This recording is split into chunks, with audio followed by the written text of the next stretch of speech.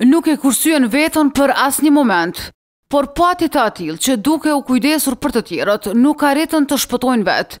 Kështu njëzet mjekë humbën betejën me Covid nëntëmbëdhjetë, tetëmbëdhjetë nga ta të cilët shërbyen në këtë luftë pandemie.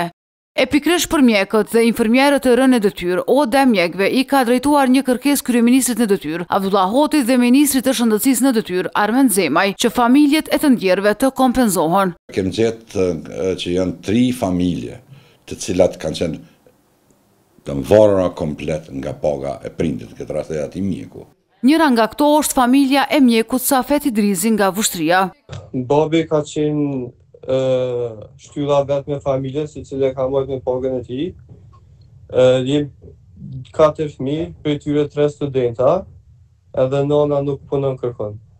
Përveç kësaj kategorie, OMK kërkon mbështetje financiare edhe për raste të tjera. Dy kategori, fëmijët e mitur apo të moshuarit që kanë qenë drejtpërdrejt të varun nga ajo pagesë, ajo rrogë e atij mjeku që ka humbë jetën edhe të mirren në konsideratë. Nga ky i fundit u tha që kompenzimi financiar të jetë një pagë e njëjtë mujore, për të cilat viktimat ishin paguar për pozitën e punës për një kohë të caktuar. Kjo iniciativë u mirëprit edhe nga Sindikata e Shëndetësisë. Qeveria ta përkrahojnë këtë nismë dhe ta subvencionojnë. Mirëpo nga Ministria e Shëndetësisë thanë se ende nuk e kanë pranuar një kërkesë të tillë nga OMK.